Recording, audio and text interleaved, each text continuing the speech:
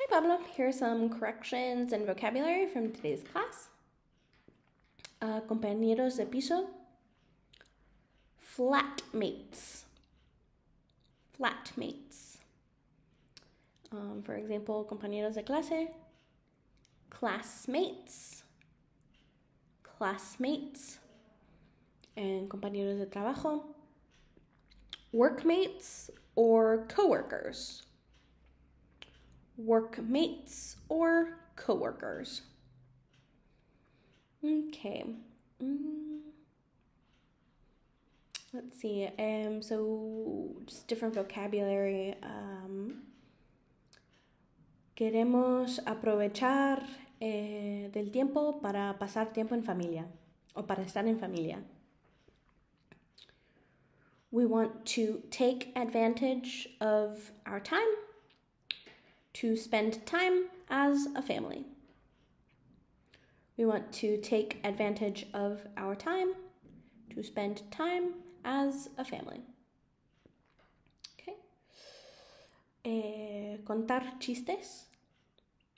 To tell jokes. To tell jokes. Gastar dinero en algo. To spend money on something to spend money on something. And then for example, uh, mis gastos son caros. My expenses are expensive. My expenses are expensive. Okay. Eh, nadie le está distrayendo. Distrayendo. Sorry. No one is distracting him. No one is distracting him. Okay, um, so be careful with the verb choose. So, uh, elegí café. I chose or I picked coffee. I chose or I picked coffee.